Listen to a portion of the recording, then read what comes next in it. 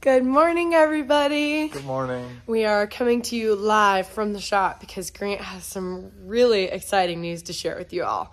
You ready? I'm done. Done planting. All done. The planter that we worked for four and a half months on survived, made it through planting season. Grant is officially done. Done. Unfortunately, I cannot share the same announcement, but fingers crossed, knock on woods. I hardly even want to say it. I don't want to jinx myself. Today is my last day of planting. Should. Should be. Today should be my last day of planting. So, the planter did awesome after many, many, many bearings going out in these clothes wheels. After changing all of those and having some loose gauge wheels in the beginning, it did fine. Didn't uh, didn't have any problems. The fertilizer system did amazing from SurePoint. Those guys hooked us up and set us up to that. The bulk tanks, I didn't have to shuffle seed once. Never had to. Do you know how Laura always has to go scoop seed from bin to bin?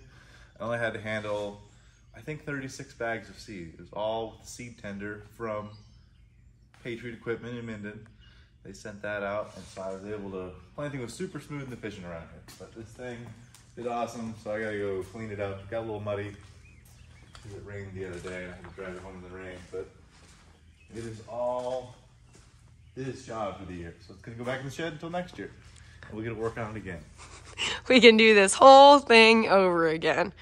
Um, but yeah, I think overall, Grant was pretty satisfied with the job it did. I was just impressed that we got everything put together right. I mean, you know, I You saw us work on it for like off and on for months. Yeah, so not to doubt our abilities or anything, but it's just really cool to see something that you put so many hours in. And what you saw was just a fraction. Grant spent a lot of hours thinking and planning and prepping and working on this, um, even while the cameras were off. So, I do have a small list of things I want to change for next year. oh, I please share. like those seed firmer things that they're supposed to push the seed down and put fertilizer in. But Um, okay, hold on. I'll, I'll show you what he's talking about. He's talking about these things right here. So, not a fan. when the seed falls or like comes down the tube right here, then this is sitting in the ground and like pushing the seed See, what happened is is the trench would begin to close up when it was so dry. So this thing was out of the ground and it was spraying fertilizer all over these things. And you know, fertilizer is very corrosive, and that's why all the bearings were going out. Another Gotcha. thing I want to change is these openers. These are like the basic of basic openers that you can have on your planter. And so to adjust them, you gotta get out and screw. Anyway, like this one, we had to weld a bolt on because it broke off. And it's really hard. See this one, yeah, this, I think this one broken. Anyway, they just, as they bounce to the field, they kind of adjust themselves, whoever So maybe looking for some new um, row cleaners. But look at this fertilizer system held up excellently. Oh, you don't see. one spot. I don't know if it's made a video. Well, it will have made a video, but I, I hit a pivot stop with that. Oh my goodness, are you serious? Yeah, so it just it broke this off right here. But it's, Okay, I'm but it's fine? it hit the bottom. Well, I'm just what I'm noticing is that I don't see any leaks anywhere. Do you know what I mean? Everything looks I don't know. It all looks great. So, thank you so much to everyone who helped us make it through Grant's planting season, the SurePoint Ag people, the Patriot Ag Seed Tender. Um, all those people were really great and helped us out a lot. So, we really appreciate them. Thanks, guys. Grant, congratulations. I am so proud of you. Done, done. So, speaking of sponsors, uh, UMC Universal Motion Components, that's that cute little video you see run um, at the beginning of all my videos. They're another one of our channel sponsors. And so, while I am out planting today, Grant is going to be servicing some pivots. So, UMC uh, is a powertrain parts supplier for pivots. And we are entering the season. Oh man, I really thought I could carry both at one time. We are entering the season That thing is very heavy. If you didn't know. of irrigation. Since all of Grant's crops are planted, it's time to start putting some water on them because, frankly, don't know the next time it's going to be raining. So he's just going to be bringing these with him, just in case, so he doesn't have to come back to the shop. But check out UMC for any of your powertrain pivot needs. So I will also be, while I'm out there, I will also be filling. So this is full of oil right here. This is an electric motor. This is full of oil, gearbox, with this nice jug of oil. I'll be topping all the old ones off because they get water in them, they leak a little bit. It's a center drive, not a gearbox, but Well, okay, yes, you know what I'm saying. Same diff. same diff. Same diff. Anyway. So it's not very much fun. It smells like cat poop and it's really dirty and you're on the ground, usually in the wind. It is a really pleasant day today, so I hope you have a good day. I hope I have a good day too.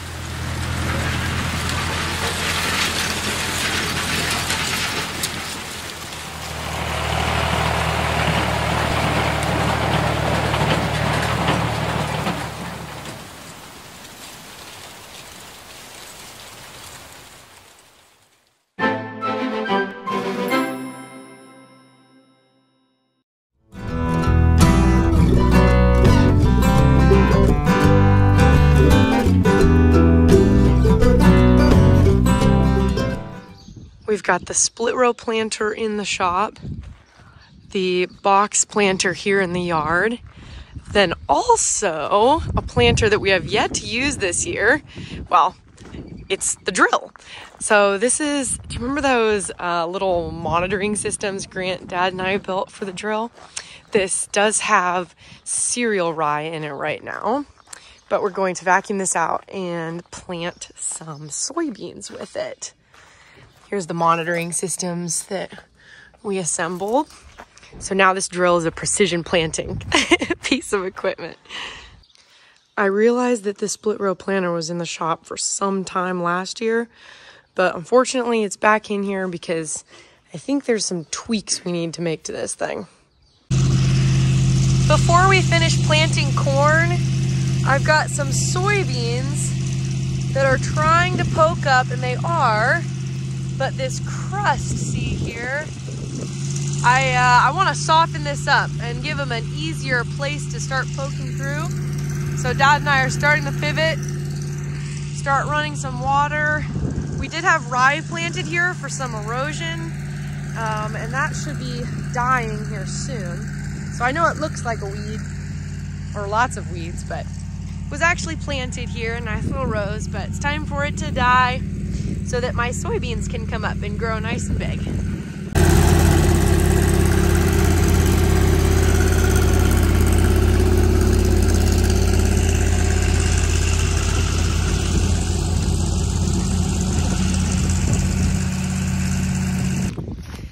So right now, getting pivots started and making sure they are all functioning actually falls under a higher priority than finishing up our planting since we only have a few acres left.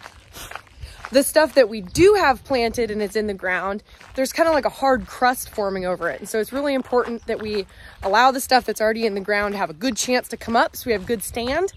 So we have one more pivot to fix and get started. Ah, carrying my supplies right now. Um, but I did want to mention the weather. I know I'm in a sweatshirt. I probably don't need to be. Is so gorgeous right now. It is beautiful, perfect summer weather. And it's probably still spring. I don't think it's been officially summer yet. Oh, but the sun was up at like 6.15 this morning. And I don't know, the sun is shining. There's no breeze. Like there's no wind. Birds are chirping. I saw bald eagle this morning. Just a really, really great day. Got the seed tender hooked up to the red pickup. That seed tender is full of soybeans. And we are going to be filling the drill with soybeans here. So there's three different compartments. And then these are our little floats which tell us how full each compartment is. I managed to do it pretty even. I've got 950 pounds of soybeans in each compartment. Looking good. So this drill is going to be planting soybeans in our seed corn ground isolation. So the isolation is pretty much just like a border around the field planted to a crop other than corn So it could be soybeans or it could be Milo or something like that. Um, and it's to border the field from any foreign pollination. So the seed corn, we only want the seed corn male rows pollinating the female seed corn. And so uh, we don't want any commercial corn pollinating it. Now that we got our pivot work done for now, don't worry, there's plenty more where that came from. Dad is in the field cultivator and I am in the 8345R. That's a bad angle. Here we go. Headed out to the field to finish planting. Dad is in the field cultivator, like I said, and that's like kind of a tillage type tool. Um, and he's going to be lightly going over the end rows before I plant those, just because they're pretty hard packed. And then um, there was some spots where some corn stalks had gotten kind of balled up. So he wanted to rake those apart before I planted through them. Um, and then once he's done with the field cultivator, then I'll do finish up the planting and then he'll hop in the drill and finish planting our isolation. First thing we have to do is use this number one hydraulic to unfold our wings. Oh, maybe, one sec, let's give it a second try. There we go. Just had to think about it for a little bit. We're good. Now in our ag leader here. Oops, that's not what I want to do. Mary Jane's. Okay, we're going to, there we go. This is my last event. Perfect, to get that to load in. Now we're going to go here. Yes, that should change that. Confirm and we want that. All right, so this is what we have. Oh, there we go. So we've done all this, all this green stuff. We just need to fill in this middle part and then do the end rows. Now that my computers are all loaded, all ready to go, I'm gonna use this one right here and lower the planter down because I need seed. Luckily, we got the trailer, Black Suburban all hooked up, all ready to go. Unfortunately, those seed bags are 65 pounds a piece. Now, usually the bags are, well, not usually. Sometimes they're 50 pounds, sometimes they're 37 pounds. It all just depends on how big the seeds are. So there's different varieties, different hybrids. Um, but no matter what, each bag has, each corn bag has 80,000 seeds in it. These just happen to be really big seeds, so they're super heavy bags. So I'm not really looking forward to loading the planter, but it's what must be done. I should mention, you might be confused on why sometimes we use a seed tender with like uh, either seed already filled in it or with the pro boxes on it. Those are those big black boxes. And why sometimes we use bags of seed.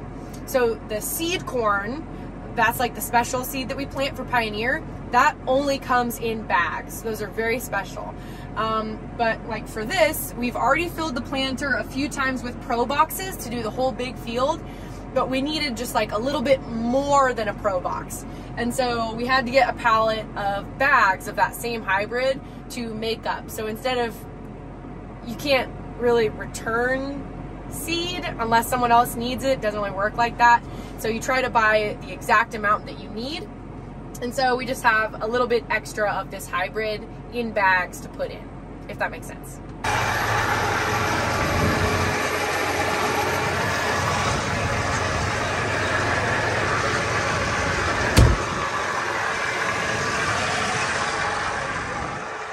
I suppose the workout is good for me, right? I did also want to mention, so most of this field, like I said, has already been planted, and look at it.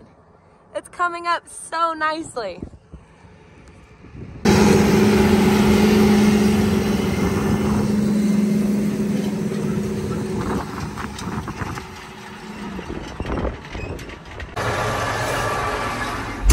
All right, so the boxes have the seed that we have left, and I'm carrying two bags. That's all the corn we have left, like seeds. So hopefully we have enough to finish. Now, of course, I could do the math for you guys, but where's Where's the suspense? Where's the fun? I want to leave you guys with like a cliffhanger. We've got to keep some interest in here, right?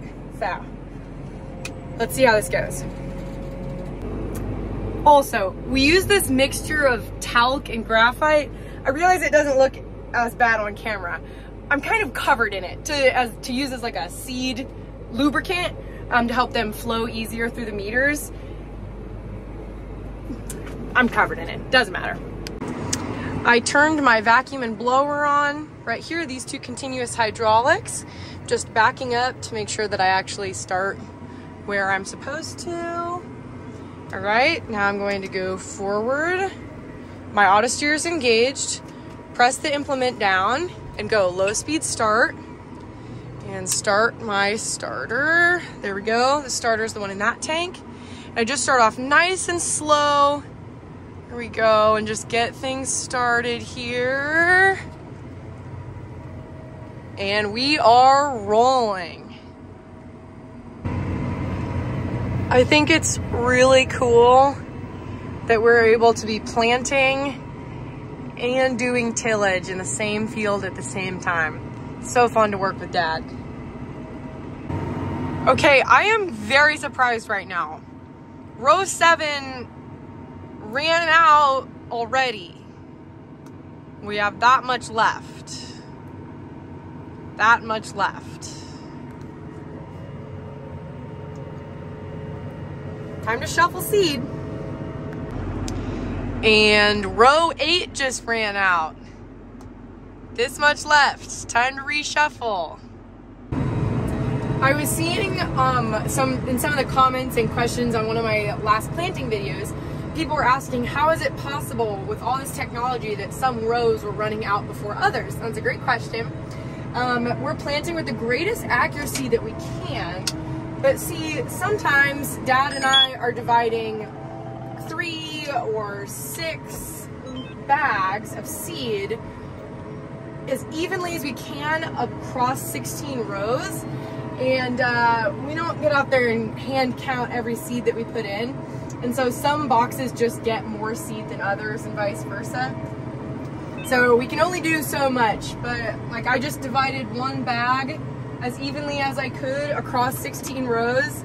And I think I did a pretty good job, but inevitably one row is just gonna run out before the other ones. Now, if you started with a perfectly cleaned out empty planter and put one exact bag in each row unit, you'd have 80,000 seeds per box. And in theory, in a totally perfect world, everything working exactly right, they'd all run out at the same time. However, we are planting right now, I should slow down a little bit, at 99.1 to 99.7% uh, back over here, let me top you off. accuracy. One second. Well, I will release you from the suspense uh, we do not have enough seed to finish. I uh, just ran out two more rows and I can't shuffle anymore like without just grabbing a handful but I know that's not sustainable cannot finish the field. So that's all the seed on the farm. So I am going to our seed dealer's house and I'm gonna pick up a few bags and hopefully that better be enough to finish. Instead of taking the time to go to the farm, unload these pallets, and then go to the seed dealer's house, I'm just going to flip them off the trailer and leave them here um, so I can just be as efficient as possible. That's not supposed to look like that. This is from that huge wind and rainstorm we had. Looks like an end tower got flipped over. Unfortunate bag is secured or uh, bags. I got eight bags just to be safe and hopefully, hopefully that's enough. Okay, you know it's summertime because something is coming up that I'm very excited for, okay? Wait for it. Uh, this Suburban does not have air conditioning, so I'm driving with the windows down. Wait for it.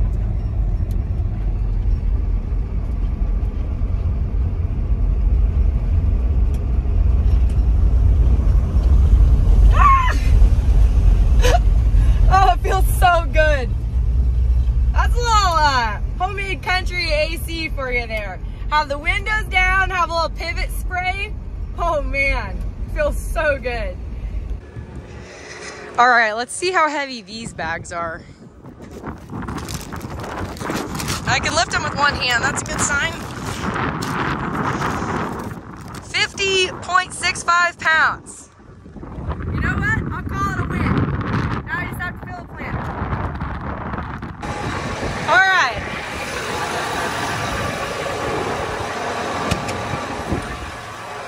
Now, now we should be able to finish. So here's something a little interesting. So this field, I'm gonna try to explain this. This field is like in the middle of where road lines came together. So the field, instead of being a perfect square, is like a trapezoid type thing. It's not even. And so the rows, to be perfectly straight on one side, when they come to the middle, they come together. So right now, I'm planting the intersecting rows. I don't know if that makes sense at all. The field is squished.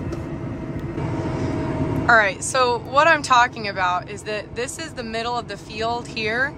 And when I started on this end planting, I was planting like maybe eight rows. Do you see this dark green? And then as I went on, it got smaller and smaller and smaller until down here, I was just planting one row. But now we're back to regular 16. And that's how we'll finish out all the rest of that. And then we're going to put 24 end rows here and 24, maybe 32 end rows over here. All right, everybody, check this out. All the middle is filled in. Now we just gotta get through the end rows.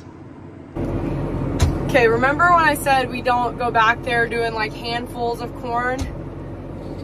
There was a point where I was carrying like maybe half of a handful and dumping it in, okay? I did all the end rows on the east side. I'm halfway done with the end rows on the west side. I can't open another bag right now, right? Like, hmm. Let me show you guys what we're working with. I just, another row just ran out. Okay, that one, I think I might be able to take some from that one. And that one. Okay. All right. I've been keeping them fairly even. I think I can, oh, that one's almost out. That one's almost out. That one's almost out. That one's almost out. That one's almost out. Oh my goodness.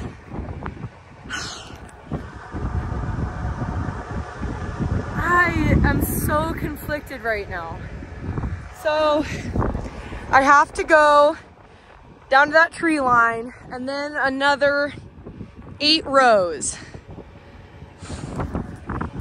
Here's my fear. I'm spending all this time shuffling. Man, I really just do not know what to do here.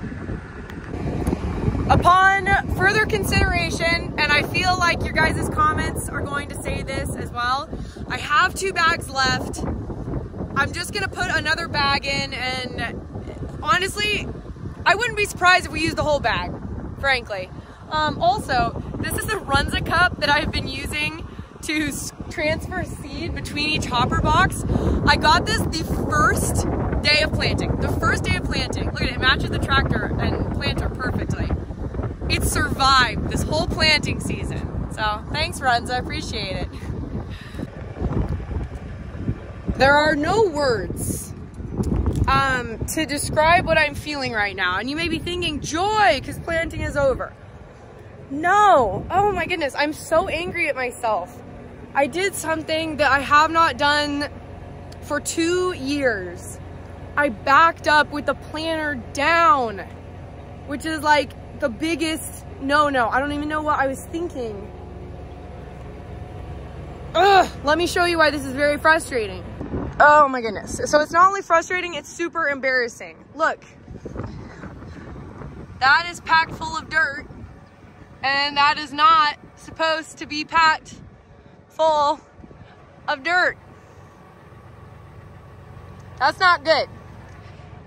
So I have two options. It,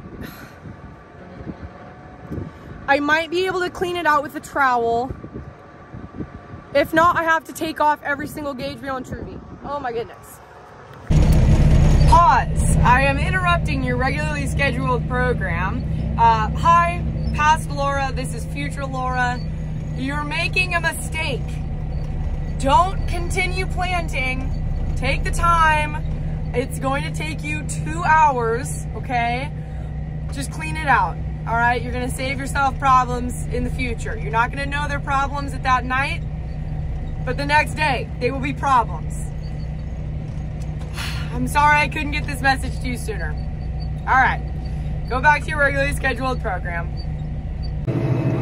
Somehow, it's planting. I do not, I mean, I, I know how. I cleared all the seed tubes it's probably, if I didn't have just literally eight rows of half of a thing left, I would have stopped and cleaned it out. But I'm just too close. I'm too close. So I'm just going, I'm finishing right now. I should, I'm excited. I'm excited. This is the last eight rows, less than a quarter of a pass of commercial corn planting for 2022. We still have some soybean isolation to finish up with that drill or maybe a soybean planter tomorrow. But here we go, you guys. We're, we're finishing out corn planting. I consider myself super lucky because I know that there are people who have not started yet. Um, and I know there's a lot of people suffering from storm damage, like the Larsons and Zach Johnson um, and all of them.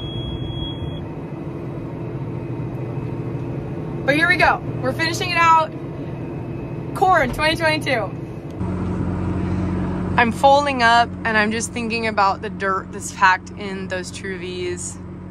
So frustrated with myself. I was going to take them all apart and clean them anyways, but it's just frustrating. I haven't made that mistake in years. Goes to show we are all human, I guess.